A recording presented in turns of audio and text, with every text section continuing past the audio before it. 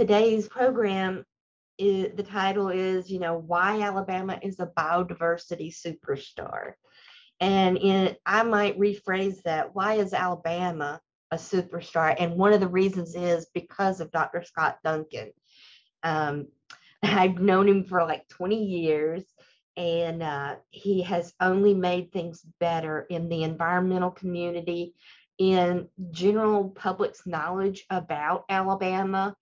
Um, he, he's not only an instructor at, at Birmingham Southern, but he's written some very, very important works um, for uh, on the state of Alabama. And you'll have to tell us about the one that's coming out in 2022.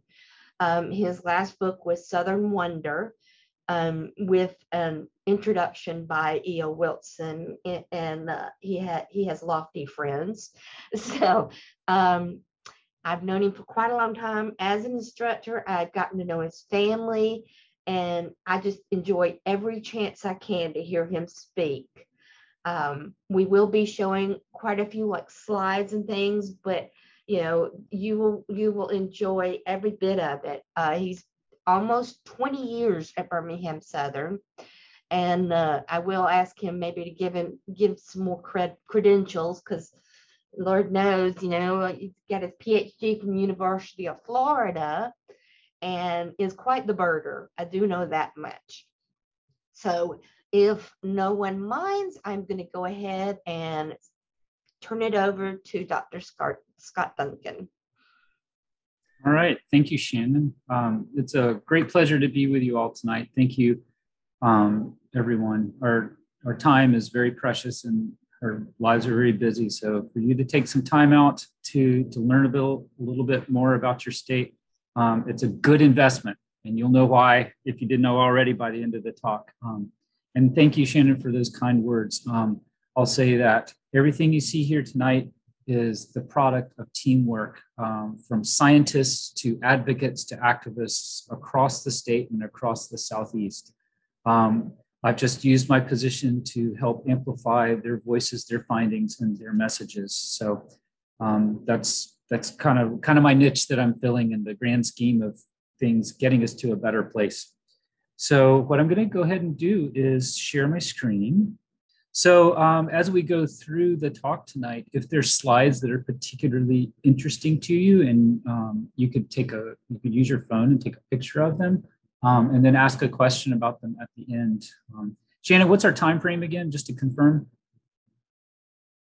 I would say um, as long as we could, you know, keep it going, um, probably no more than 45 minutes because we'll have people drop out. Okay. but sure. um, yeah, we'll see how how in, interest is sure. and, and keep talking. Okay. Well, there will be some places where I'll have to speed through things, but um, you can easily get in touch with me. Um, that's my uh, website right there with the contact information, and I can answer follow up questions if we don't get to them tonight. Um, so there's lots of ways to, re- to get in touch with me. Um, um, before we jump in too far, I want to um, Okay, controls are different when I'm sharing the screen on Zoom. Here we go. Let's do here. So first of all, um, I have one of the roles I'm trying to play, like I talked about, is science communication, getting the word out to people who need to know about um, their environment, science, um, the things that are influencing our lives in so, some profound ways. Um, that started with the publication of Southern Wonder in 2013, which is available through the University of Alabama Press. You can also order that through Amazon. Um, lot, it's written for the public. Um, it's a, I'm told that it's well written and it's an easy read and it's rich with information and beautiful pictures, many of which were donated uh, to for me to use in the book. Uh, recently, just within this year, I've started blogging. Um, my blog is entitled Confluence, the Head and the Heart of Southeastern Ecology. Um, what I'm writing about in the blog are topics that um, don't fit in either of the two books that I've written, um, or they're updates to things that are addressed in those books and those sorts of things. Just recently, I published a, um, uh, speculative fiction about the future in the year 2020 and doing a canoe and kayak ride with a group of others from Birmingham all the way to Dauphin Island. And um, celebrating the many wonderful things we accomplished between now and 2050. Um, everyone who reads it says it's a it's it's a lot of fun. It's really inspiring and got them thinking about the future they want to see as well. So um, I encourage you to give that a read. That's on my on my blog. And the next post, as soon as I can squeeze enough time into one of my days, will be on something. I think the title is I live in Alabama, but I care about climate change. Is there anything I can do? Um, and I address those topics squarely um, and address them in that new blog post. Um, and, and uh, bits and pieces of that are going to be at the end of the talk tonight. I'm also on Instagram. If any of you are on on the on Insta, Instagram, um, mostly wildlife photos and that sort of thing. But you can also keep up with talks that I'm giving and when I've got new blog posts up. And then finally, um, I do have a new book in the pipeline. It's um, it's under review right now. I'm expecting some good news soon. Uh, it's called Creeks to Coast, Restoring the Rivers at the Heart of American Freshwater Biodiversity. Many of the themes that um, in that book are going to come out in the talk here tonight. So let's get started. um, so tonight's focus is Alabama biodiversity. Biodiversity is short for biological diversity. It includes many different levels of biology from ecosystems all the way down to the population level. But mostly when scientists are using it, and when I use it tonight, I'm talking mostly about species, unless I say otherwise. And um, I think, as you know, Alabama has a lot of biodiversity, so we have a lot to explore there. But first, a little bit about me. Um, I come from uh, a middle class family down in the Florida Panhandle. Um, born at the end of the 60s and brought up by parents that got hooked on bird watching about the about two years before I was born. I was brought up in the culture of going out on the weekends with my parents bird watching and their friends who were a mixture of scientists, advocates, activists, and of course fellow birders. And so that was my that was the petri dish that nurtured me along. Um, so it's really no surprise that um, I became a biologist. Same for my brother, um, my younger brother, who's a biologist with the U.S. Fish and Wildlife Service. That dock that you see there is where I've spent a good part of my um, uh, life as a, as a as a young adult and a child. Um, we've rebuilt that dock many times by hand um, after the hurricanes, and it's still a that's my favorite place on the planet, right there. you can see it's been banged up by lots of hurricanes. It, it's never been straight. Um, and uh, another important part of my life has been birds and bird watching. Um, sometimes it's just a hobby, and sometimes it's a meditation to keep me sane, and sometimes it's part of my research and my science. And it's been a, a wonderful adventure. Um, so I, of course, am indebted to my parents for that. And they are still at it. My dad's in his 80s, my mom's in her 70s, and they are bird watching every day. My mom helped document the like the fourth North American record for a rare species of bird that got blown ashore during Hurricane Ida. Um, so their contributions are not just in terms of um, educating others. They do a lot of that about birds and natural history. Um, they lead lots of field trips and so forth, but they also are contributing to the science of ornithology um, in some regionally important ways. So it's perhaps no surprise that when I went to college, um, I started studying biology. Um, the path wasn't necessarily direct, um, and I took a few, you know, sidebar explorations. But eventually, um, I got my degree at Eckerd College um, in biology, and then I went on to the University of Florida, where I um, I got my master's and then so and then a PhD in zoology department, uh, studying uh, tropical forests. And there I am I'm the guy with all that hair on his head. And uh, um, I spent a lot of time slogging through tropical forests, studying how to get forests to grow back in places where they've been cut down. And so uh, that's what I spent a, a, little over a decade doing. Um, then I moved um, to uh, Birmingham about the time that that little baby there was about two years old. And Shannon was one of the folks that helped us through some really difficult years as my wife transitioned into becoming a physician and I into becoming a, a new professor. Always indebted to you, Shannon, for the wonderful times you spent with, uh, with my daughter. Thank you. Okay, so that's a little bit about my background. I wound up in Birmingham about 20 years ago, almost 20 years ago, taking this job at uh, this little college, Birmingham Southern College. And I had spent a lot of time on the in the panhandle of Florida and on the Alabama coast, but I knew very, very little about the rest of the state. And that had to change very quickly because I wanted to integrate, you know, features of Alabama into my coursework with my students, many of whom were from Alabama or adjacent states. So I'm going to divide this talk into four parts. The first part is where I started those 20 years ago, which was what biodiversity do we have in Alabama? And so we're going to um, get started with that. Now, about the time that I started teaching at the college, this report came out from uh, a research institute called NatureServe. And um, in this report by Bruce Stein, the states of the US were ranked in terms of their number of species. Not all species, just those for which we had good lists from all 50 states. And you see here, uh, highlighted on the chart on the right, that Alabama ranked at number five position. Now, many of the my predecessors, biologists in the state, knew that Alabama was special and had lots and lots of species, especially aquatic species. But I think even I think even the uh, the seasoned um, biologists in the state were surprised to see us ranking so highly. This was the first time that had ever been done across many different groups of species. So Alabama is number is number was number five in the U.S. at that point, but number one among states east of the Mississippi River. So uh, we have a lot of reasons to, to, to brag about when it comes to our biodiversity. Now, this report was in 2002. So just recently, um, I did a reanalysis the same way that Bruce Stein did his original um, analysis. And I used the same data set from NatureServe, but with all the updated data. And I was delighted to see that Alabama had moved up to fourth position, um, just behind Arizona. Um, so we are now, it is official, we are now number four in the US for total biodiversity.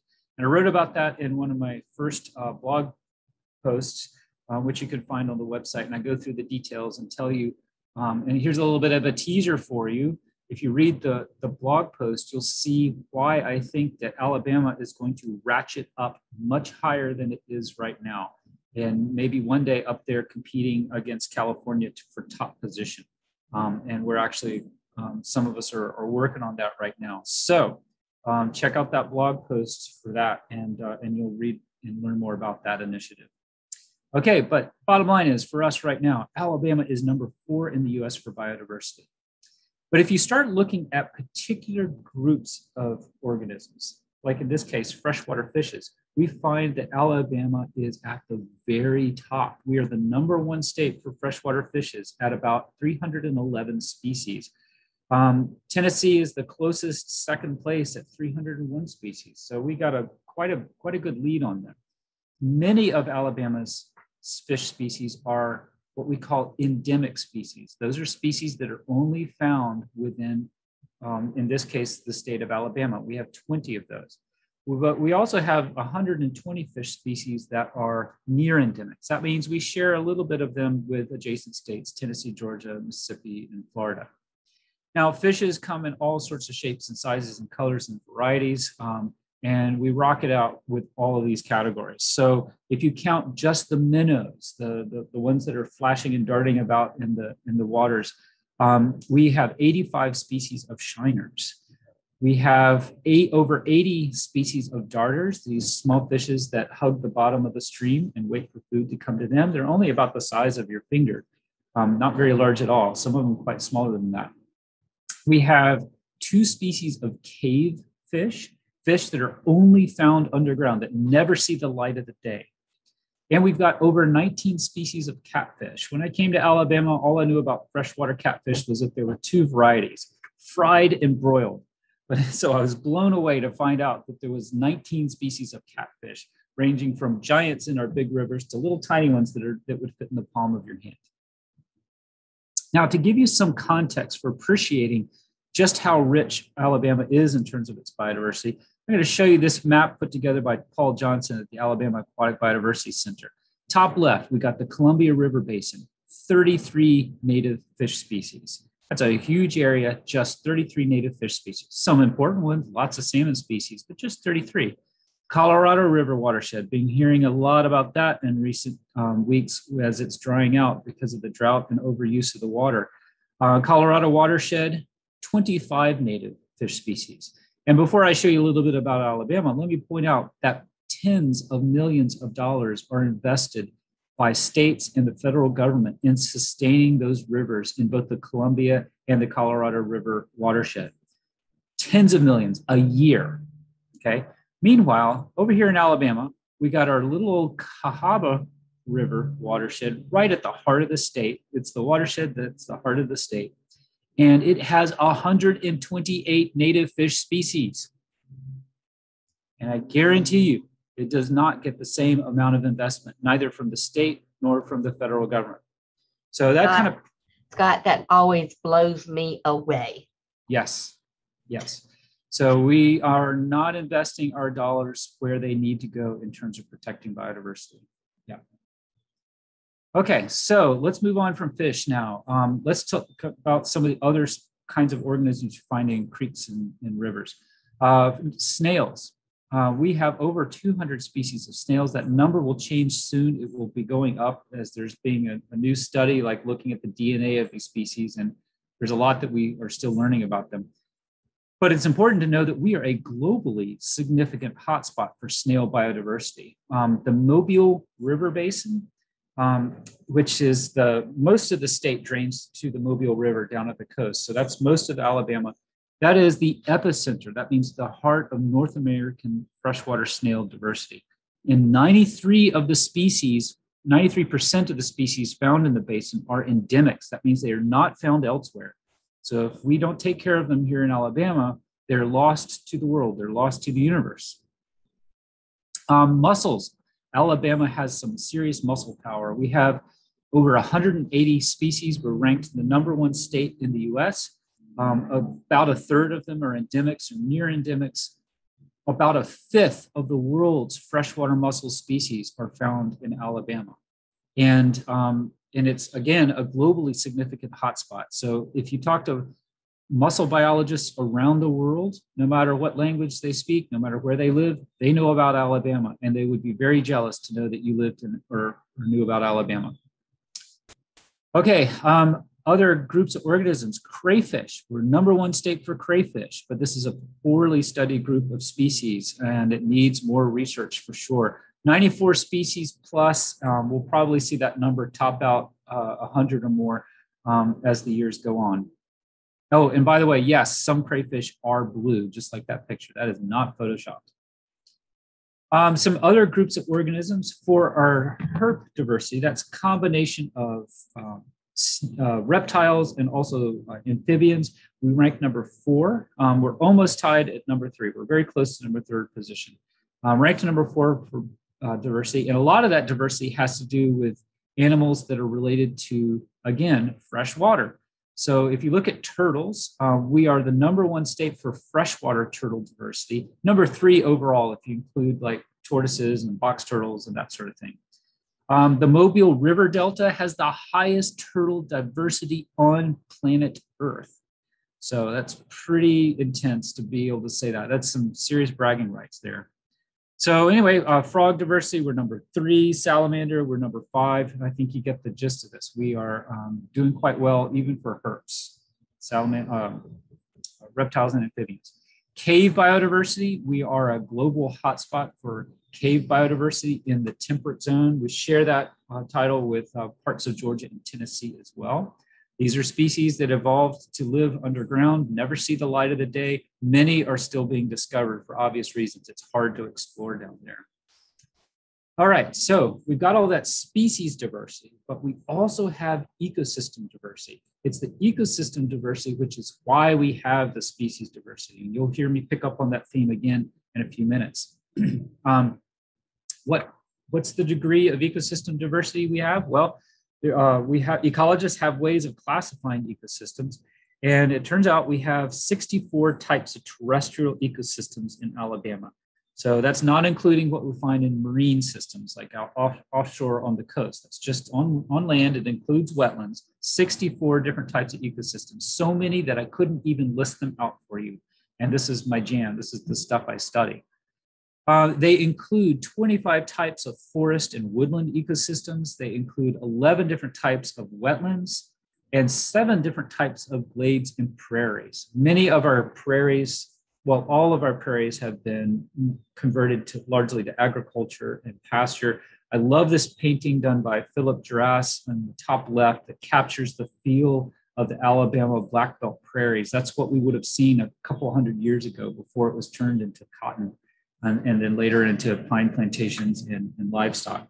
We also have these weird rocky ecosystems. It's called glades. I'd love to tell you more about that, but we don't have time for that tonight.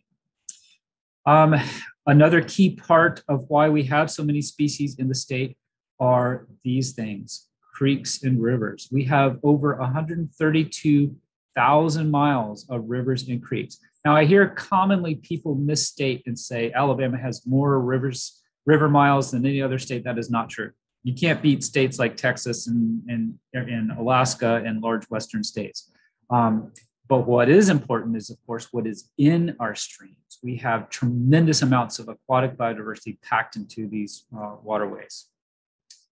All right, so um, I already talked, I kind of got ahead of myself earlier. There's often speculate, you get some biologists together talking about this stuff, and we start, have a few beers, we start speculating about like where we will wind up eventually. It is quite likely that we could wind up um, at or near the top um, for for biodiversity, even higher than we are today, because Alabama has not been studied as much as these other states like California, Texas, and Arizona. New species are being discovered every year. So um, stay tuned, stay tuned. Okay, let's move into part two of the talk. So I want to get into why there are so many species in Alabama. Why is there so much biodiversity? There are two reasons um, that we'll get to.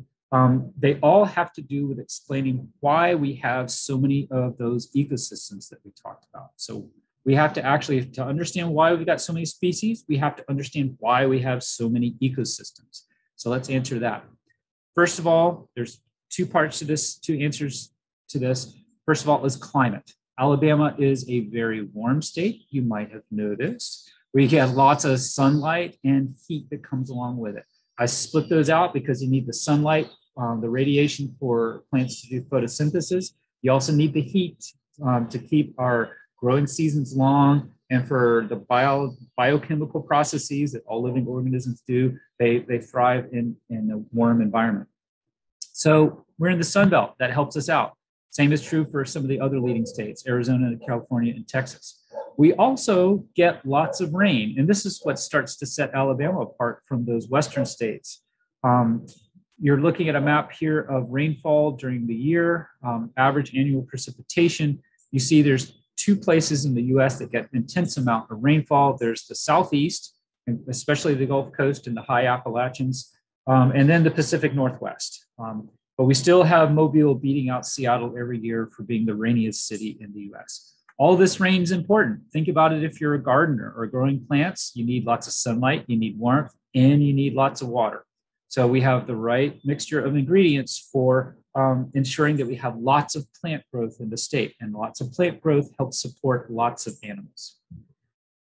All right, now one other part of our climate that's important, don't have a lot of time to get into this tonight, but lightning. Lightning is important for making a landscape that burns frequently. Landscapes that burn frequently in the Southeast are healthy ecosystems. These are the, the natural fires that once ranged across most of Alabama were relatively gentle fires, like you see here in this photograph.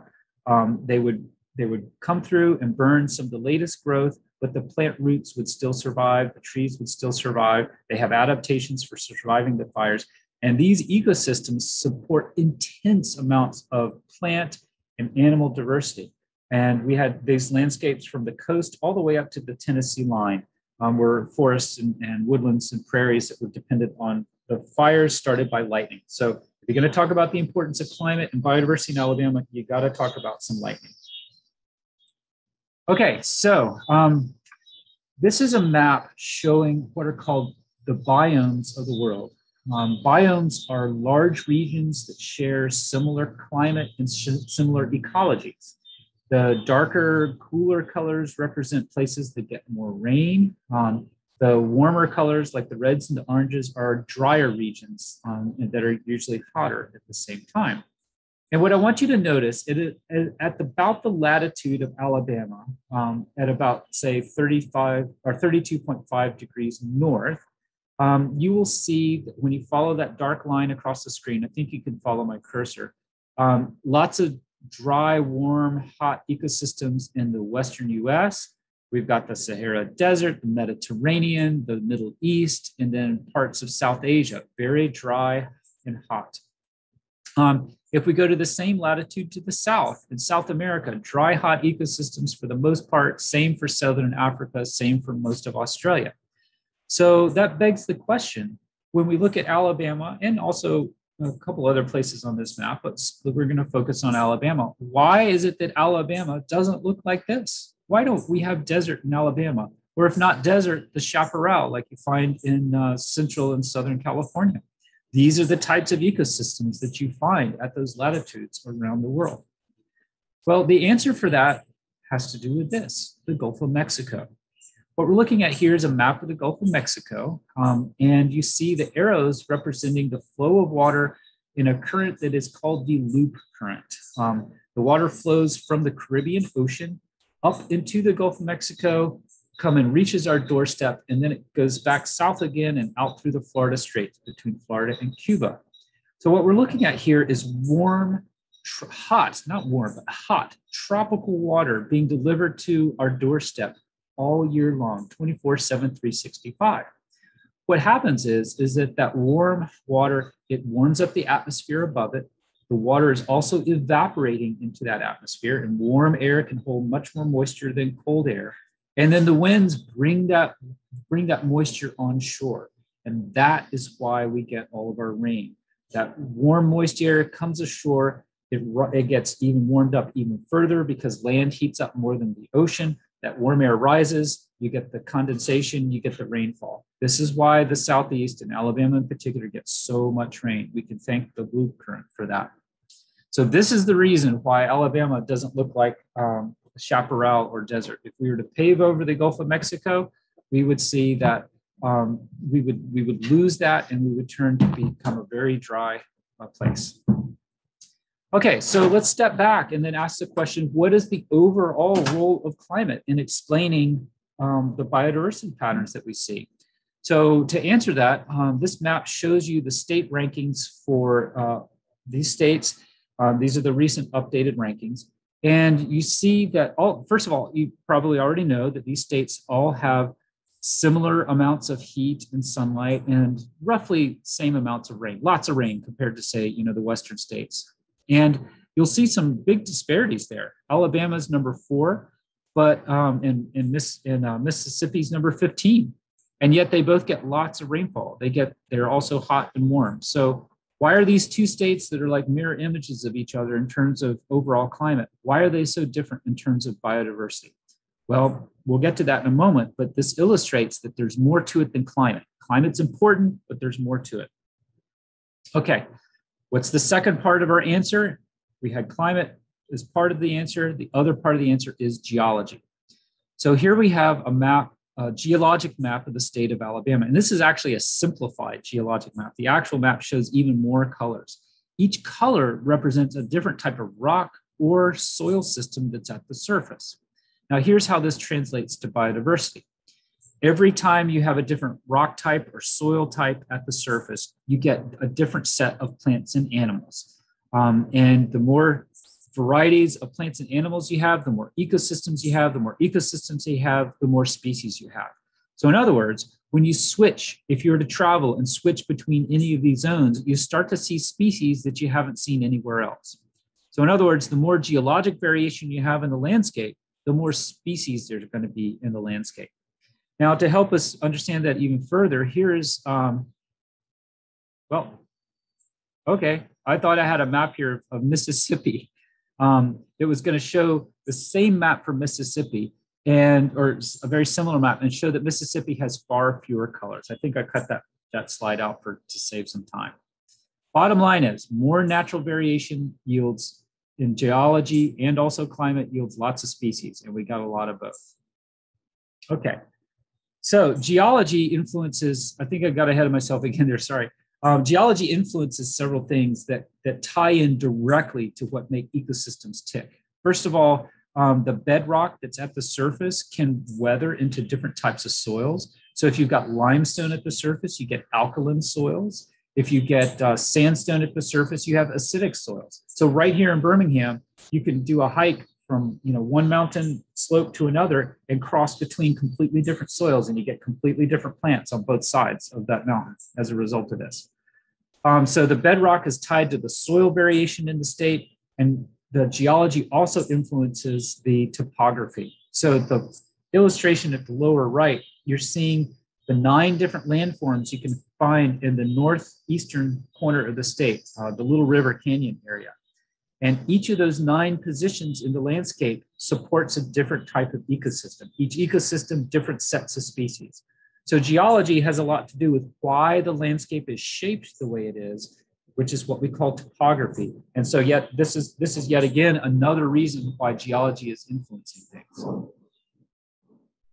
Okay, here's that picture I thought I expected earlier. There's our map of Mississippi. You see far fewer colors of Mississippi. Most of Mississippi is, um, or much of Mississippi is uh, recent um, floodplains of the Mississippi River, of course, and then the other bands of the state are shared with Alabama and they're sort of broad and sweeping throughout the state. So you don't get quite as much variation as you do have in Alabama. Okay. All right. Overall, this is the geologic map of um, the entire US, well, just the lower 48 states. And what I want you to, what I'm going to do here is I'm going to show you the biodiversity rankings for the states that are in the southern part in the Sun Belt. So that keeps, these are all states that are warm and lots of sunlight, but the geologies vary and that influences their biodiversity. So states that rank really highly, California, New Mexico, Arizona, and Texas, all have more geologic uh, diversity than uh, Alabama. And by the way, I forgot to change this. These are the old stats from um, the 2002 reports. That's why Mexico, New Mexico is uh, at number three. Look in the east, though. We've got some states near Alabama that are in the teens in terms of their biodiversity. And we've got uh, Georgia and Alabama at four and five. Now, zoom in on the southeast. Notice that Georgia and Alabama are very similar in terms of their geologic diversity, and they have very similar levels of biodiversity. The states that have lower, or, or sorry, the states that are ranked lower, um, 16, 14, and, and, uh, and 15 there, they have much less geologic diversity. So again, this illustrates that um, more variation you have, the more species you have. Florida is an exception to that rule because it has climate diversity that the other states don't. So it makes up for its geology diversity almost to, to some extent. Okay, let's move on to part three here. Let's ask the, let's answer the question, why is Alabama, Alabama's biodiversity important? And to get at that, we're gonna have to start looking at some hard facts. Um, we are in the midst of what's called an extinction crisis. Um, we are losing species from Earth um, every day. Um, and uh, the trend is that if we continue living on the planet the way that we are living now, we may see up to a million species go extinct by the end of this century. Now, end of this century sounds like far off, far away, right? But no, children being born today, they would be in their 80s by the end of the century. So we're talking about the generation that will see the most of this change is already alive today. Okay, so this isn't the distant future. This is affecting people that are that are here among us right now. On some dire statistics, these dire statistics came out uh, just a couple years ago with a report from the IPBES, and um, that that uh, it is it is humans that are driving these species to extinction. No surprise there, really. But um, this this report is all the science that is behind those assertions, behind those trends to help lay it out for us, and also laying out the consequences. Now, the species, when, when you think about extinction crisis, um, most folks, what will come to mind is tropical forests and coral reefs far away, and you know the you know the, the savannas of Africa and things like that, or maybe even the high Arctic. But it turns out right here in Alabama, we've got an extinction crisis as well. Um, and that extinction crisis is hurting us because it's hurting what are called ecosystem services. This chart here illustrates uh, the main ecosystem services that keep humanity alive and keep us thriving. They provide food in the medicines that we use. I bet that over half of us on this uh, talk tonight are alive because of medicines um, that were derived from nature, from biodiversity. Um, we would have we would have died without those medicines. That is true for me. Um, that is certainly true for me. Antibiotics, for example. Um, and the tie between our humanity's ability to stay alive and to thrive, the tie between that and biodiversity is this. Healthy ecosystems provide more ecosystem services, and the ecosystem services that they provide are better. So ecosystem services can become degraded. You know, water can get polluted, for example. Um, and it turns out that the more native species that ecosystems have, the higher number of services that are provided and the better quality of those services that are provided. So in other words, extinction, of course, is bad for species, but it turns out it's also bad for us. It's bad for humanity. And that's humanity everywhere, right here in Alabama as well. So what's the extinction crisis really look like in Alabama? Well, it's actually pretty bad. Um, if when I ranked species, when I rank states in terms of the numbers of species that have gone extinct, uh, Hawaii, not surprisingly, is at the very top. Islands are a special case. Um, we don't have time to get into that tonight, but island populations tend to be extremely vulnerable to extinction. So for all the other states that are on the continent, Alabama ranks number two, and we don't even have a close second. California is the is in third is in third place but it, we are 20 species ahead of California when it comes to extinctions. So um, this, and these, by the way, these are modern extinctions um, just in the last couple of hundred years. Um, number one on the continent. It's everything from fishes to mussels to my beloved birds. And we are not out of the extinction crisis. Um, we're, we're having a little bit of a pause in the extinction crisis in Alabama, and that's a good thing. It's giving us time to get our act together. Um, but we are not out of the woods yet because Alabama ranks three for federally listed species. Federally listed is jargon for species that are endangered or threatened on the endangered species list. And you see that we have, um, at least when I compiled these stats in April of this year, 143 species that are federally listed. So that begs the question, what's going on in Alabama? Why are things so so upside down. Um, because if we're going to fix this, we have to know what's going on. Well, here's some clues 74% of Alabama's threatened and endangered species are freshwater aquatic species. 95% of Alabama's extinct species are freshwater aquatic species. So, most of the species that we have lost or that are at risk of being lost are river species um, so creeks and rivers. All right. So that is obviously pointing that something's wrong with our rivers and creeks. So what happened? Well, for, to understand what happened, we have to dig through some history. And I, I do a deep dive in some of this history in my new book that's going to come out, um, Creeks and Coasts. It has the first thing that, that we did when, when um, Europeans and then later Americans expanded into the, um, into the Southeast was that we began to, to harvest species. Um, here you see shad fishing um, on rivers on the East Coast and that decimated the shad populations. Um, you see in the top right, sturgeon. Um, these are Atlantic sturgeon that were harvested for their eggs, which were turned into caviar. And at the bottom, you see the results of the process of making shell buttons, something Shannon knows a lot about. Um, we see um, a pile of discarded shells in the center. Uh, these are mussels pulled from the rivers, and you see that they, they had a, a drill press that would carve out little cylinders of the shells, and then those would be sliced into little, um, like little button-sized things, and then they drill the holes to make them into buttons. That's what the women on the right are doing.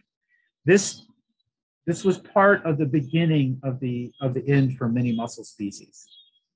Now, We've also changed the landscape a lot in the way that we live on the landscape, not just over harvesting. Pollution is a big problem. It has been for many decades, um, and it still is.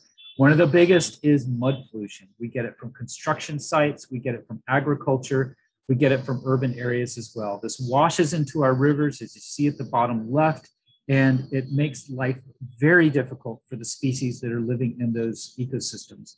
Um, so the mussels that you see in the bottom right picture, many mussels have had a had a tough time because their habitats get silt layer after silt layer after silt layer on top of them, um, and this mud pollution um, is is what has been attributed to a lot of mussel decline.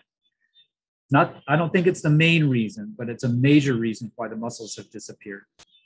Another big one is nutrient pollution. This is uh, nutri- we we send a lot of nutrients into rivers and streams. It's kind of like if you were to over fertilize your plants or your garden. If you put too much fertilizer in there, things would go very badly wrong.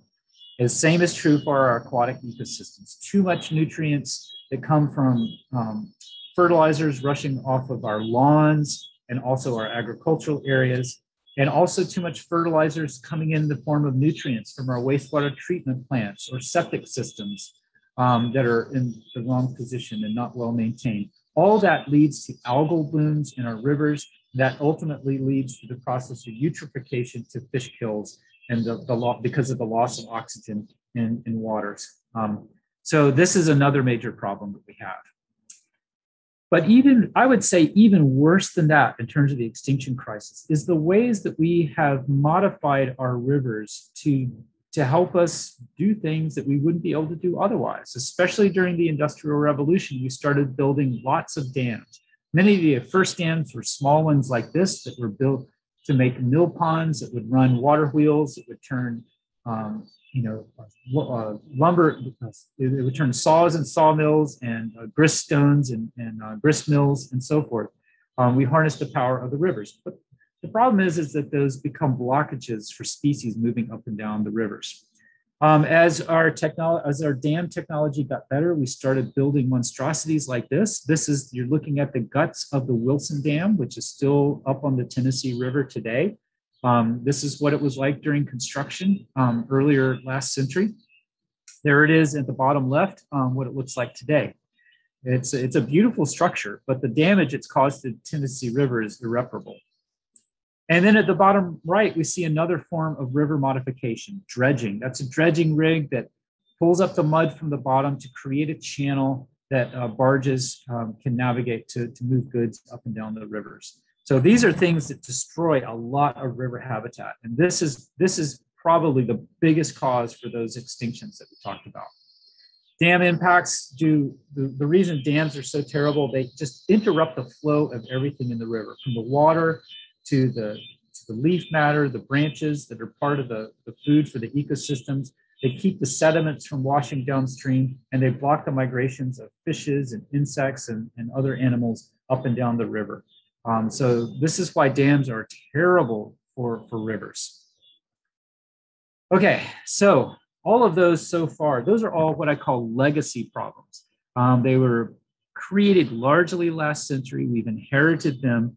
Um, and but we do have some solutions and we've made a lot of progress, especially since the 1970s. Still have a lot of progress to go. But now we are facing the biggest fight of our lives. We are facing climate change. Uh, climate change is already here in the Southeast and already affecting uh, each of our lives. Um, let me put this in the big context here with this chart. Okay, this is a timeline, and we're looking at um, different segments of the timeline. And at the far left, we're looking at the span of tens of millions of years at a time. Whereas at the far right, we're looking at the span from like 1950 roughly to the year 2050. It looks like I, I can't see it because the our, our own pictures are obscuring that from the Zoom call. What the jagged line that you see running through here is average global temperatures during this time. We have lots of different ways to figure out the, the global average temperatures through this long time period, geologic time, by looking at the rock strata that we have out in our landscape. And this has been pieced together through many decades of um, tedious work done by geologists and verified by different ways of making sure that these, these are accurate. And what I want you to notice is that um, what I want you to notice is that the, at the far right, temperatures were once much warmer than they are today. But then towards the middle of the graph, um, roughly in uh, the last few hundred thousand years to um, up until about 10,000 years ago, we were in the ice ages. Things were very cold with a few heat spikes here and there. And then notice this section here where I'm moving my cursor. This is the last 12,000 years, a period known as the Holocene. This was really important for humanity. This is when we stopped living in hunter gatherer bands, sort of migrating through the landscape, and we settled down and, and developed agriculture all around the world. Uh, many different cultures developed agriculture. And we were able to do this and start building villages and civilizations because of the stable climate. It made agriculture something that you could do because the climate was warmer and it was stable, it was predictable. So that Holocene, the, the temperatures there, it have only varied about one degree Celsius warmer or one degree Celsius cooler than that average, that long dotted line average that you see spanning the whole graph. Now, look at the far right, see where we are today.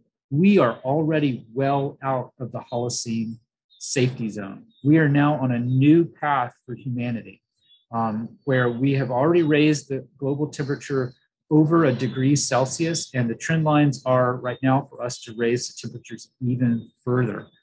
That's why we have to do something about climate change. Otherwise, we are going to send civilization to a climate that we have never experienced before, and the transition is going to be a rough one.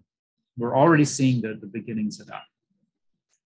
So, what does that mean for the Southeast? What's climate change happening in the Southeast? There's a long list. I've listed about 11 different things on here. I don't have time to talk about all of them, but I'm going to highlight a couple. Alabama is particularly prone to rising sea levels. We've already seen over a foot of sea level rise on our coasts during this uh, since the 1900s, and more is on the way. And sea level, the rate of sea level rise is accelerating. So we will see more and more uh, problems with coastal flooding. Uh, number seven here, stronger storms and more flooding. That's because of the warmer temperatures. Warm air holds more moisture than cold air. And as a consequence, um, when it rains, we don't get the rains that we used to have. We get these downpours that go on and on and on and just pound us with the rain. And that leads to more flooding and all the troubles that come with that, like you see at the picture at the bottom left. We are also prone to harsher droughts. Now, the Southeast and Alabama in particular is naturally going to have some years that are very wet, like this present year, and some years that are very dry, our last one being the year 2016. Um, however, climate change is making those dry years, those droughts, even worse than they used to be. They hit really hard and they hit really fast, and it's hard to prepare for them. And that's part of the new normal that we're facing. And then, of course, stronger hurricanes. There's a little bit of evidence that we're seeing more hurricanes, there's strong evidence that we're seeing more larger hurricanes that do more damage. Um, and that's that damage is delivered with heavy rains and heavy winds. And the hurricanes move slower now because the atmosphere is warmer. So they sit on top of a place for a long time and just punish them with rain and winds and flooding. And that's our that's our new normal now. So the southeast is actually, when you look at it from an economic perspective, and there's studies that have been done here, the Southeast is this, the region of the US that is losing the most money as a result of climate change, more than any other region in, in the US. Even taking in consideration the flooding that New York and other northeastern cities get with the occasional hurricane they see, and even taking into consider the drought in the West and even the fires in the West, the Southeast is losing more money and economic um, damage as a result um, from climate change than any other region. All right, so that's some bad news. What are we going to do about it? All right, we can't just sit by and let this happen. Here's what we do we fix this, we fix ourselves. That's part of the solution. And I have the good news, which is it's already begun. So, um, I can't read what my title at the top of the slide is because the menu bar here, but this is the Paris. This is what I want to highlight here is the, the Paris Accord. This was um, when the nations of the world came together in um, 2015 to agree on limits for global warming. Um, the goal is to keep it at 1.5 degrees Celsius or below of warming, um, and absolutely no more than two degrees of Celsius. Um, because once you start hitting the 1.5 and the 2 um, degrees of Celsius, we start changing the planet in ways that we cannot turn back. We hit what are called tipping points. That's some severe problems that lie ahead for us. More on that in just a moment. So the, the practical goals mean that we need to reduce greenhouse gas emissions globally by 50% by the end of this decade. That's 50% relative to what greenhouse, green, greenhouse gas levels were emitted each year in the year 1990. Okay, that is a lot of work we have ahead of us. If we don't hit that, it's going to be even harder to keep it below those temperature limits. Okay, we also need to aim for hitting to net zero emissions into the atmosphere by the year 2050. Now, what's really at stake here um, is that if we don't hit these limits, we're going to be changing, like I'm repeating myself here, but it's important. We're going to be changing Earth's systems to the point that we're going to move into a new climate that is difficult for humanity to deal with. And there's no way to reverse it, at least with known technologies or any foreseeable technologies that we could develop um, in any sort of near future that would be relevant. Okay, so what do we need to get there? What do we have to do to get there? Um, one phrase captures the big picture of what we need to do. We need to transition from it being to from operating an extractive economy to a regenerative one, one that's just as productive and just as fulfilling for human needs and desires, but it's designed in a way, it's engineered in a way to regenerate the ecosystems and the planetary systems that sustain us and keep us help, healthy and happy. Great talk by economist Kate Raworth um, on a TED talk here. I encourage you to watch she walks you through this and explains like the the why right now is so important for making this transition. She's a mastermind for um, coming coming up with a new vision that we should all be embracing. Now, there are three guidelines I want to highlight for guiding us through this transition that, we're, that we have already started and that we must complete. First of all, this transition must be a just transition. And here I'm talking about the fusion of the goals of the social justice movements around the world with environmental goals. They are have already started coming together. Um, you've maybe heard of the field of environmental justice um, that's looking at what people are impacted most by the degrade by uh, ecosystem degradation and pollution and so forth. We must bring everybody along to the new future that we are building. We cannot leave people behind as we have been doing over the past few centuries. We need, first of all, it's immoral to do so. And also, we need everybody cooperating and working together to get us to the place where we need to be. So, this must be a just transition. Secondly, we need a rapid transition to clean energy and away from fossil fuels. So, that means leaving behind coal and also natural gas. Um, natural gas has been sold to us as a bridge fuel that made sense about 20 to 15 years ago when the cost of solar and wind was so high. Those costs have come down now. We do not need natural gas as an intermediate step, which is, of course, a fossil fuel. It's better than coal for sure, but we need to leapfrog past that immediately. And then finally, the third guideline is that we need to use nature as a guide for how to re engineer how we're living with each other and how we're living with the planet. So these are called nature-based solutions. These reports that you see here, I've got, you know, the title pages from just one of several, from four of several reports that are out there outline the pathway for doing that. The more good news here, scientists and, and uh, everything from natural scientists to social scientists, we know how to do this. We have the tools to do this. We just have, we just lack the political will and the sense of urgency to get it done. So those are those three guidelines. Now, I'm going to zoom in from the from that big picture that we've been talking about here to focus back on Alabama and specifically on our rivers and streams, because obviously that's an important part of our future in the state, because we are so important to the rest of the world for our aquatic biodiversity, and it's so important for us. So we have three levels to work on. The first is that we need to upgrade our life support systems that are tied directly to rivers. That's power, water, food, and waste. Okay. So, power, let's start with that. Um, what you might not know is that all of our power that we generate for Alabama and other southeastern states, other than the little bit of solar that we have, it all comes from rivers.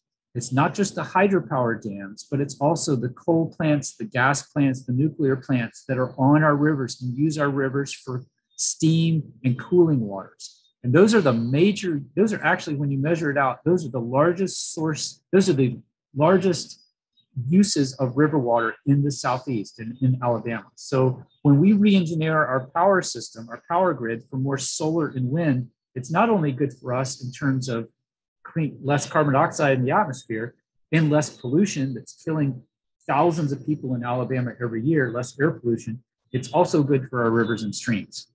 We also need to engine, re-engineer our water systems to, to use less water to do the same things that we need water to do. Um, so we need water efficiency and conservation. We need to re-engineer how we're growing our food. Already we're making some good progress here with conservation tillage, including uh, no-till farming that conserves water and fertilizer and land and enriches the soil ecosystems, all while producing crops, just as we did before. We can do this. And then finally, we need to rethink waste. Waste needs to become a non-existent thing in our lives. Um, we do not need to be spilling waste into our rivers to carry it downstream and away. We do not need to be shunting rainwater off of our streets and our roofs and our buildings into the nearest um, stormwater drain that goes to our creeks. We need to let that water sit in the landscape and soak into our aquifers and our groundwater because that's what keeps our um, our taps running, uh, keeps our rivers running, and keeps our plants alive. So that's how we need to be treating water. Don't treat it as waste. That's terrible. Okay, so um, power, water, food, waste, changing all that. Is that really how to save biodiversity? And the answer is a resounding yuck, a resounding yes. If we don't fix these systems, then the extinction crisis accelerates and we're jeopardizing our own future. If I could assign you guys a homework assignment, um, a friendly, friendly suggestion that you watch this documentary on Netflix. It's called Breaking Boundaries, and it, it follows the science of, of what's called planetary science, looking at the nine different measures of Earth's systems that keep humanity alive and thriving. And that's the diagram at the bottom left. I don't have time to explain that. but all this to say is that for several of those systems, like climate and biodiversity, we are, we are redlining Earth we are pushing it harder than it can sustain us, and that must change. And please watch uh, Breaking Boundaries. It's an hour and 15 minutes that will, that will change your life. It's I'm I'm likening that to if you're familiar with um, ecological history and environmental history. It's like the Silent Spring, the book by Rachel Carson. It's like the Silent Spring of our era. So please take take a watch at that film. Okay, now a quick word here about who's got to fix this there's been a lot of finger pointing on this. And over the years, there's been a campaign to point the finger at the consumer. Um, infamously, British Petroleum um, came up with the idea of the carbon footprint to help uh, shift the emphasis on the consumers of fossil fuels and other things um, for being the fault, to being the blame for everything. Basically, the fossil fuel industry saying, well, if you don't like our products, don't buy them.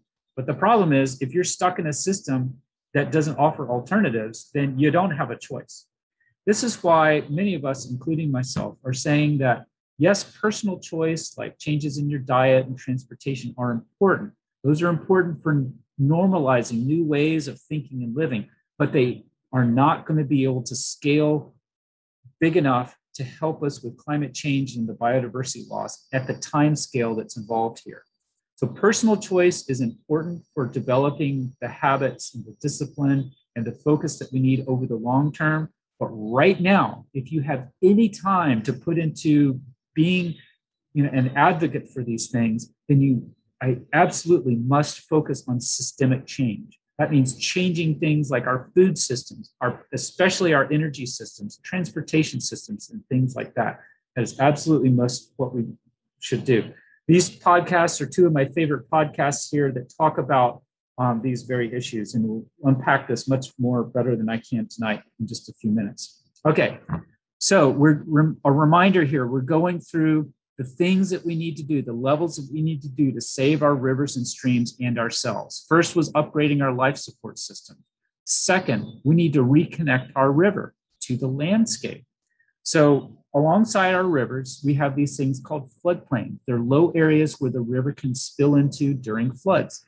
They're great for wildlife. They absorb the floodwaters, they prevent flooding downstream, they recharge our aquifers, and they're great for recreation, as you see here in, in the pictures. Okay. Um, but over the last century and a half or so, we broke our floodplains. We settled in them. We put agriculture in them. We built levees to keep rivers from flooding. We built uh, flood dams to, to, do the same. Um, we filled in wetlands, um, and our and our the policies by the Federal uh, Emergency Management um, Agency are terrible for promoting um, continued settlement um, and rebuilding in floodplains. And as a consequence of all that, we're seeing more flooding than ever before, injury and sadly loss of life, infrastructure damage, downstream flooding, and habitat loss. This is not the way we should be living in the landscape. And that's that's tough news for folks that are living in these floodplains, but we have to get out of the floodplains. It has to be part of this big transition. There are solutions. Moving out of floodplains can be done. There are economic tools and policy tools for doing that. There's also lots of science that's been put into how to do this in terms of the, the river science side of things, as well as the political science and the psychology of all of doing this. And frankly, in many areas of the US and around the world, we are doing this out of necessity. Communities are getting so much flooding now that um, people are moving out of communities and not rebuilding, and that land is, is actually being restored into floodplains. So we need better policy, updated policy to speed this transition. It's going to be good for all the above, for biodiversity, for people, and for climate change issues. Okay, um, another part of reconnecting is taking down dams. We have close to 20,000 dams in Alabama.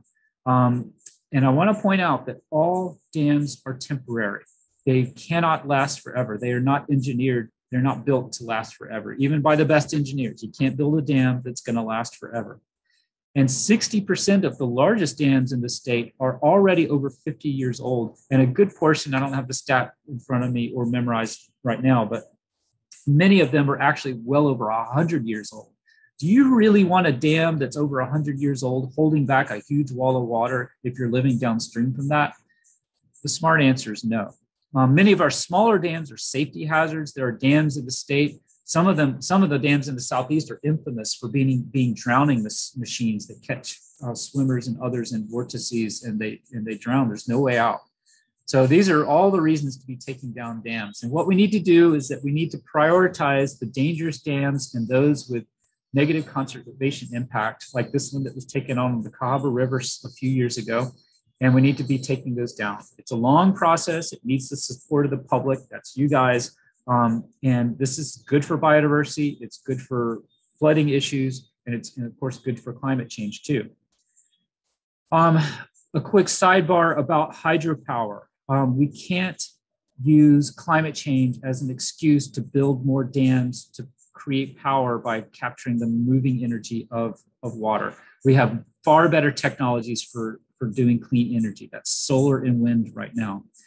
Um, besides, the best sites for building dams are actually already in use.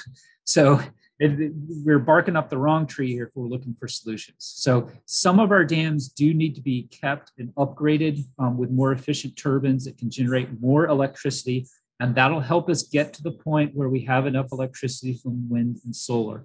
Um, that'll also maybe buy us the time where we can get um, uh, fourth generation nuclear as, as a possibility, um, which is much, much, much safer um, and more efficient than these old ginormous nuclear plants that um, that have been built in the past. So that's what we need to be doing. And for the other dams, we need to start planning their removal. It takes many, many years to plan the removal, especially of a big dam. Um, so we need to get started. All right. Um, when we remove dams, many, many good things happen. Um, river species obviously able to migrate. Rivers are then able to do the thing that they naturally do. And that I want to focus on what happens at the coast when we do that. Dams are holding back sediment and fresh water and nutrients that are essential to sustaining our fisheries, where we get our recreational fish like speckled trout, but also commercial species like shrimp and mullet and blue crabs. Um, when we release this water and, and the sediment and the nutrients to the coast, our coastal ecosystems begin rebuilding. And we need them to rebuild everything from the oyster reefs that you see here to the barrier islands. We need those ecosystems because they are very efficient and cost effective at protecting the coast from storm surges that come ashore with, with hurricanes. Um, and the other perk here is that we let river species return to our rivers like sturgeon and shad, and they can rebuild their populations. Okay, so the third and final piece of the river revival is to restore species and ecosystems. Fortunately, again, we've got a head start on here. Um, these folks here at the Alabama Aquatic Biodiversity Center have been bringing mussel and snail species back from the very brink of extinction and growing them in the, in the laboratory setting and then putting them back in rivers and streams that have been restored. And that we need more of that um, happening throughout the Southeast and here in Alabama to, to bring to, so that we don't have so many species on the endangered species list. And this will in turn help us rebuild our ecosystem services that are indispensable, irreplaceable, and invaluable for sustaining humanity and our capacity to thrive. Okay, uh, I don't have time for a sidebar here with mussels, but let me point out on this slide that we're doing a lot of this work. We're restoring the longleaf pine forests in our uplands. And along the coast, we're rebuilding um, oyster reefs. Um, in the far right, you see a project that everybody in Alabama should be proud of. That is Lightning Point at Bayou La Batre, the Nature Conservancy and its partners uh, restored, restoring marsh and oyster reefs and protecting the port of Bayou La Batre and from uh, sea level rise and the, and the storm surges that come ashore with hurricanes. And that is, um, it's the biggest project of its kind on the northern Gulf Coast and will be the inspiration for many more projects like that. All right, so um, this is just a sort of summary of, of all that. Um, I want to point out that um, we have the science, we have the technology, but what we don't have is enough people demanding that we um, we have the policies in place to get this done and get it done quickly. Okay, so how can you help out? You can do what you're doing tonight. Keep learning about rivers, keep learning about the environment and climate change and the policies we need. Policies aren't all that sexy. I, I admit, um, I have to like drink a strong cup of coffee to get me to focus on policy, but it is essential to our future.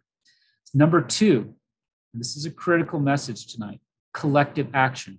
That's how we get the policies we need. We're not going to get it by acting individually or making adjustments in our own ways that we're living. We have to come together and demand the policies and demand the actions that we need to protect us and to protect biodiversity as well. What I've listed here with these icons are some of the groups in the state of Alabama, not all, but some of them that focus on climate change and also focus on environmental justice and social justice. These are the groups that are doing the hard work, the essential work, the good work that needs to be done. You can support them in many ways according to what you're able to do with your membership, with your donations. You can join with them and advocate for policy. You can offer your ideas and opinions on how what that policy should be and, and brain, brainstorming, working with these folks. You can offer your expertise if you have it. You can offer your time or your talents. There's no reasons to be on the sidelines here. This is an all hands on deck uh, moment for humanity. And the earth needs you. Um, Alabama needs you. Um, mussels need you. And you need you. We all need to be out there working for this. All right, so that's a wrap, folks. Um, again, this is uh, the different ways that you can learn more about my thoughts on this and how to move forward. Um, my blog is in, over the next um, couple weeks is going to be posting more about how to get engaged and, and make a difference as individuals working with others because that's a critical piece, especially in a state like Alabama that is deeply red.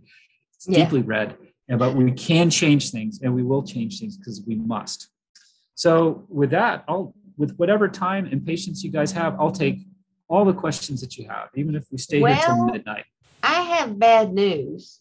We're I'm, out of time. I'm, I'm running Zoom and my computer just said it's going to restart in nine minutes. Okay. I have works. no control over that. Um, I do have a couple of questions. I don't know if they're easy or hard, but Gabrielle does say, are there any, you know, documentaries or white papers or anything about cities that have been, or towns that have uh, resorted back to floodplain? I mean, any information about, you know, Yes. the reha- rewilding of some, some Yes. areas? Um, the, there's lots, lots of things. Um, so one thing on the coast, you can, you can read about the Lightning Point um, project down at, uh, at Bayou La Batre on the coast. Another really good resource is a podcast by the Southern Environmental Law Center. Um, their podcast, they had uh, several seasons focusing on sea level rise on the Atlantic, excuse me, on the Atlantic coast, because the Atlantic coast is sinking faster um, than the um, the Gulf Coast, the northern Gulf Coast, and a, a lot of the focus of that podcast is on how cities are adapting to that, and a lot of that is transferable to inland as well.